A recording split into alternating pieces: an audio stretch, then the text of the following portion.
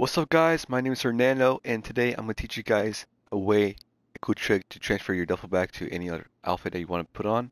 And I hope you enjoy it. If you do, leave a like, subscribe, turn notifications, and go follow my Instagram. It's down in the description. Let's begin.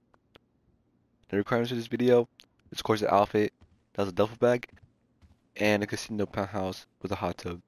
Now if you guys don't know how to get the hot tub, all you need to do, pull up your phone, go to the internet, click casino, go to the penthouse and it says renovate your penthouse so click begin. Now the hot tub costs around 600,000 if you guys don't have that kind of money I have a money glitch video that you guys can check out.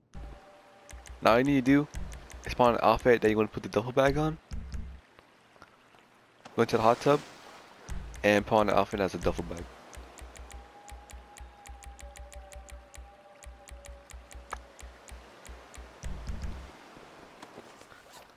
Now here you go. It should transfer the duffel bag onto the outfit that you want to put on. Uh, and I forgot to say before you do this glitch, make sure you buy a Israel parachute bag. So do not buy an Israel parachute bag while having a duffel bag on because it'll mess up the glitch. Now all you need to do is on over to the mask shop.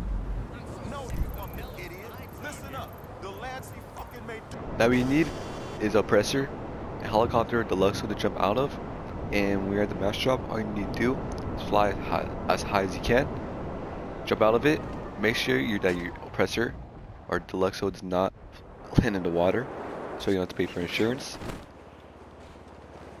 All you need to do, carefully land into the mask shop, and then run by the hats. Spam right on the D-pad.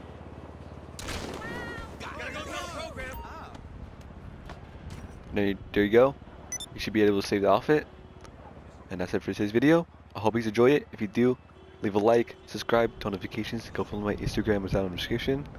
And my name is Hernando. I'll see you guys later. Peace.